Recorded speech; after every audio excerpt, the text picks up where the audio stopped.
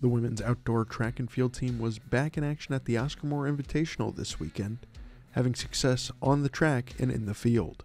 In the 100 meter hurdles, Nicole Notoriani, Molly Lodge, and Gloria Hughes competed for the profs in the finals. Notoriani would finish third for the profs with a time of 14.69 seconds. Lodge would finish sixth, with Hughes finishing in seventh in the 100 meter dash, Samantha Eloy for the profs would finish in third place with a time of 13.23 seconds. Caitlin Sprague would finish in sixth. In the 200 meter dash, Molly Lodge would finish in first place for the profs with a time of 25.46 seconds, with Navia Lorjust finishing in fourth. In the 400 hurdles, Mahan McClanahan would finish in first place for the profs with a time of 1 minute and 10.38 seconds, with her teammate Nicole Bertolo finishing in second. In the 400 meters, Amanthi Sosa Caceres would finish in second place for the profs with a time of 1 minute and 1.76 seconds. In the 800 meters, Anna Sassy would finish in first place for the profs with a time of 2 minutes 25.94 seconds. Sassy would also finish second in the 1500 with a time of 5 minutes and 5.99 seconds.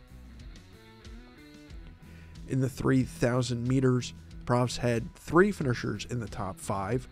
Lindsay Boyd finished in second place with a time of 11 minutes and 12.39 seconds, with Carly Toole finishing behind in third with a time of 11 minutes and 14.33 seconds.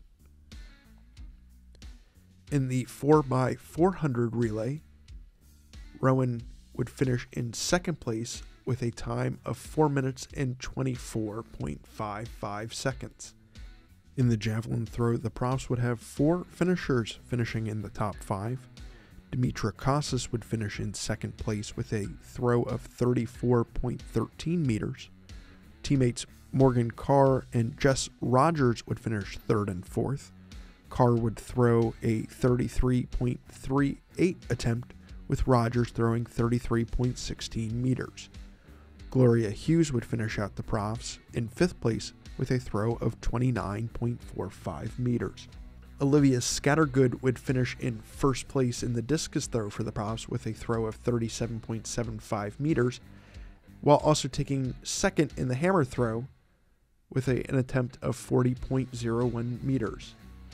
Michaela Taylor would finish second in the discus throw for the profs and first in the hammer throw with a throw of 43.82 seconds.